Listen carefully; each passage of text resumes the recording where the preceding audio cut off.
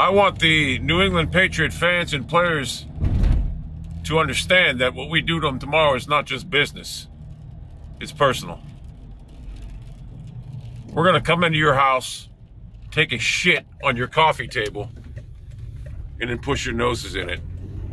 We're going to take Bill Belichick's hoodie and we're going to shit all over it and make them wear it. That's what we're doing to the New England Patriots tomorrow. And it's going to get ugly very early.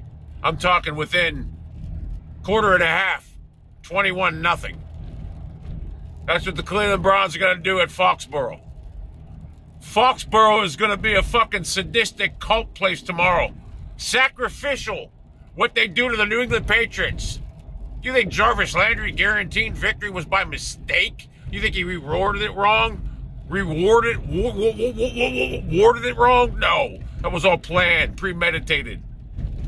It's going to be a bludgeoning of biblical proportions, and we're all going to be able to witness it.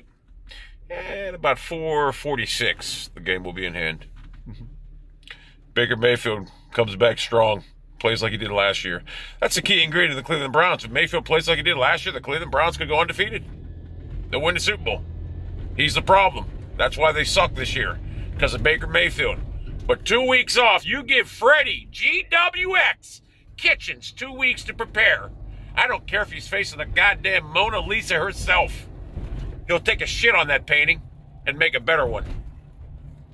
So coaching Freddie Kitchens against Bill Belichick, it's a mismatch. Freddie Kitchens gets way more fucking ability than Bill Belichick. Belichick's been riding the coattails of his coaching staff.